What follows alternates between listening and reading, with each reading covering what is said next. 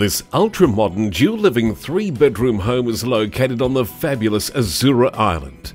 The main residence, with two generous-sized bedrooms, both with built-ins, and a substantially sized rooftop terrace offering effortless outdoor entertaining, or just to give that feeling of space.